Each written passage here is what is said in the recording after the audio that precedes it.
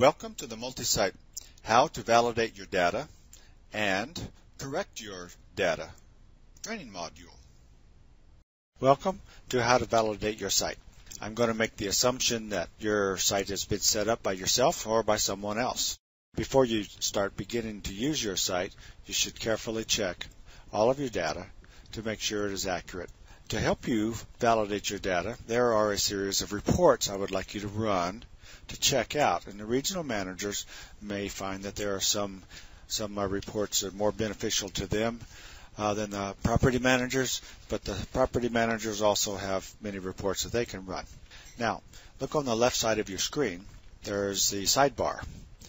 I have already clicked the reports group, and now we're looking at all reports. I'm going to click it and open up the other reports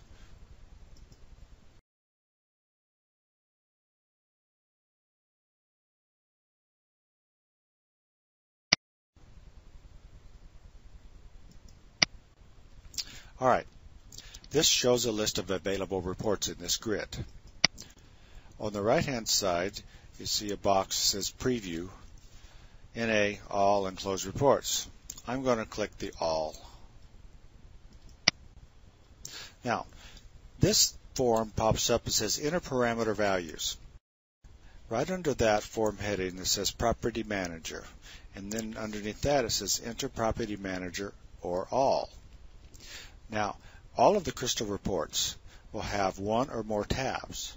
It's common it's a common mistake to miss the second tab. We'll get into that a little later. I'm going to accept all. This is the crystal report form. Let's talk about this form. At the top, the form caption tells you which module and which report you have chosen to launch. Underneath that is a toolbar. Let's talk about the buttons on that toolbar. The very far left button is a red X. That is how you exit this crystal report. Just to the right of that are the navigation buttons. If this report had more than one page, those would be enabled and you could use the arrows to go down a page or up a page. To the right of that is a printer icon. You press that icon and it will print the report. Next to that icon is a little printer toolbar. If you choose that, it will let you change the printer. Just to the right of that is a little envelope. That's export. You'll be able to send uh, this report by email, for example. Just to the right of that is a viewing zoom bar. Press the drop down list to see different levels of zoom. The remaining reports that you're going to print out for this validation series is located in the tenants module. Let's press the T at the top and go directly to the tenants module. We are going to print out the report rent roll by day. It is located in the group sidebar reports. It is an individual icon. Let's launch this report. The rent roll by day form pops up. It is defaulted with the current effective date. However, you may choose whichever ending date you wish. If you're satisfied with the date, press the Select Sites button. Now, I can select one or more sites. I can hold down the Control key and turn on and off the ones I want to see. Or I can hold down the Shift key and I can do a group of them and hold down the control key to not see the ones I want to print. Now I just hit OK. It's going to calculate here for a little while. The rent roll by day report pops up. Look at the navigation bar. There's 33 pages in this example. We could flip through the pages by clicking on those navigation buttons. To print this report, push the printer icon in the toolbar.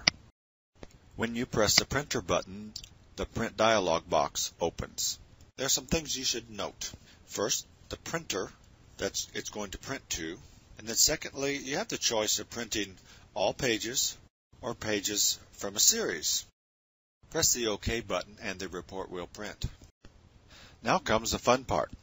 Changing the data that you found that was in error from your data validation step. There are only two general areas that you can edit data directly in MultiSite, and of course, there are some exceptions. They are the edit form from the two-column grid and in certifications. Now, it is very important to note that if your property uses certifications, all data that would show up on that certification should only be edited in the certification because the certification table updates the tenant records and the lease records as well as the certification record. Let's proceed. We began this training module by printing some reports from the site module. And here we are now in the site module and let's start editing some data. First, I'm going to get focus on my rent tax credit. Then I'm going to double click. This brings us into what we call the two column view. Now on the left side, there are the fields, the field names, and on the right side is the current value in that in each field. Now, some fields are dependent on data from other tables, and these fields are protected and you will not be able to edit the data. An example would be try to change the site number for a property. I'm going to get focus on site number and I'm going to double click. A little pop-up comes up, says cannot change site number. I press OK. Now let's change the telephone number. I get focus on the telephone number field See the little arrow that drops down there? I'm going to double click and opens up the editing form. This is the same form that will always be launched from every module every time you double click on a field from the two column view.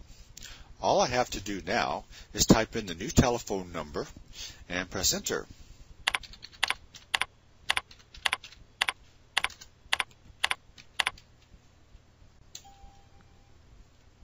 or I could have hit the OK button. We are now returned to the two-column view and we can see that the telephone number has indeed been changed. The rest of the data that we are going to edit is in the tenant module. Let's press the T at the top of the form and go directly to tenants. We are looking at the units view of my PlaySite. Let's change some data on Hugh Banker. First, let's get focus on Hugh Banker and then double click. Now we see the two column view.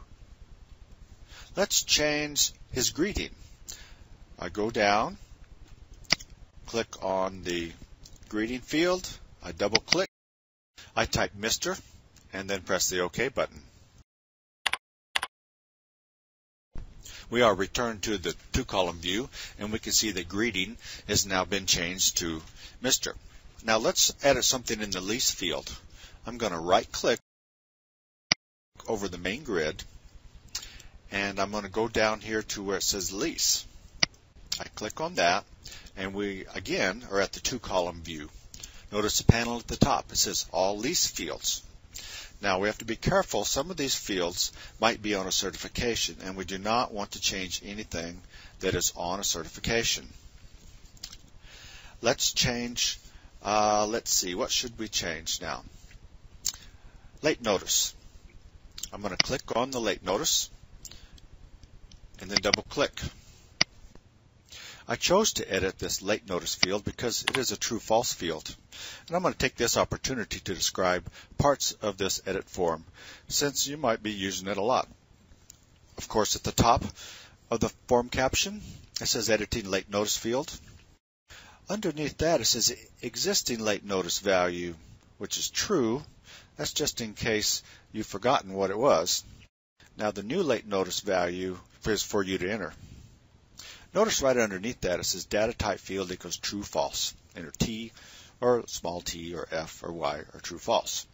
You can enter that and then hit OK. Let's turn our attention to the three buttons at the bottom of the form. The OK, the Browse, and the Cancel.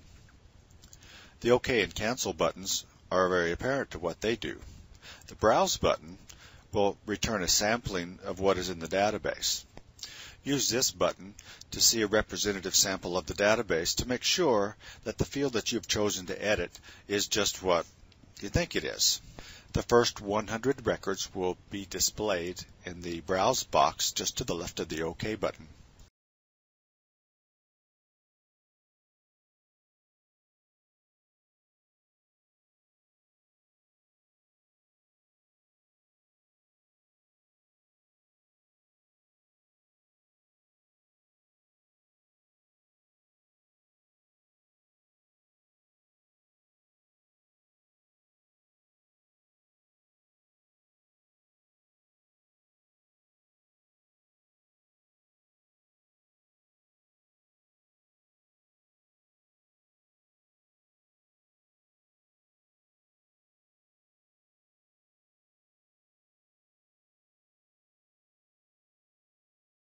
This training module is now over. We hope that you now have some basic skills to help you edit your data. And remember, please, if your property uses certifications, all data that would be on the certification form should only be edited in that certification.